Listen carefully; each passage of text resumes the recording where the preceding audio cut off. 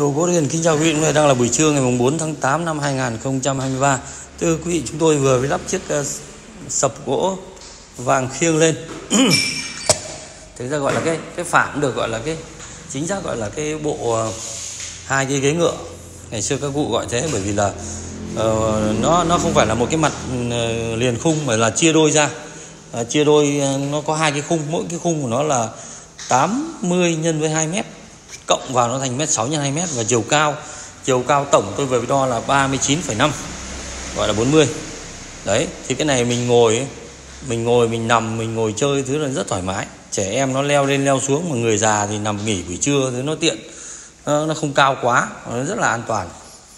Và cái này là giá là 20 triệu bao ship toàn quốc. Còn bác nào mang xe tự đến lấy thì là bớt đi 2 triệu còn 18 đấy cái hàng này là làm lâu lắm rồi chắc phải được độ dăm năm rồi. Cho nó khô kiệt. Và đây, cái này vẫn đánh trần. Sơn PU đánh sơn trần là không có bị nứt mặt nữa, nó cũng an toàn, không nứt tiếc gì hết. Đấy. Và đánh là trần nguyên vân gỗ. Vân gỗ đẹp. Gỗ vàng khiêng. Gỗ vàng khiêng thì không phải nhóm 1 nhưng hình như nó nó nhóm 3 nhóm 4 đấy. Loại gỗ rất tốt.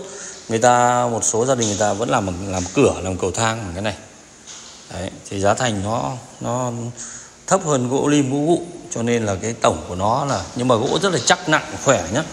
Nếu mà gỗ bình thường thì sau mấy năm thì nó rách choác rồi. Nhưng mà đây chúng tôi là làm mấy năm nhưng bây giờ nó vẫn tuyệt vời luôn. Đây là hình ảnh đang quay tại tầng 1 khu A của đồ gỗ Đức Hiền.